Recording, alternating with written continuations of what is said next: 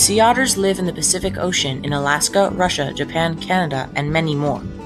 They help eat sea urchins, which in turn helps keep kelp populations high. Many kinds of fish feed off of kelp, and people feed off of the fish that eat the kelp. The food chain goes like this. Humans eat fish, which eat kelp, which is eaten by sea urchins, which are eaten by sea otters to help the kelp that feeds fish, which feeds humans. Sea otters were nearly hunted to extinction as a major part of the maritime fur trade. The sea otters were hunted for their fur, and they have the thickest and mo- highest quality fur of any animal. Sea otters have the thickest and densest fur of any animal in the whole world. They have about 1 million hairs per square inch of their body. This thick fur helps keep the sea otters warm. The otter population has declined massively over the years. Peaking at 1885, there were 8,500 otters in the Pacific Ocean, but since then they have declined rapidly. Right now, there are only about 3,000 otters left in the Pacific Ocean, a massive decrease from their peak amount.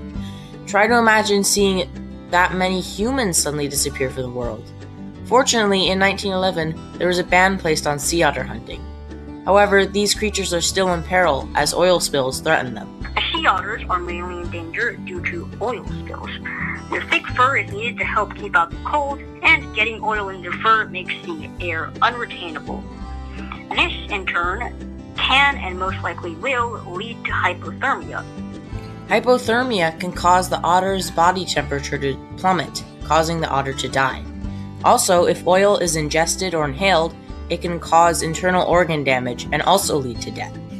You can help save the sea otters by going and donating to the Otter Project at otterproject.org.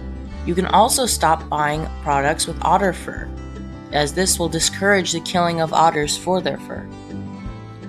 Also, just look at how cute the otters are. They're really adorable. Please, save the otters.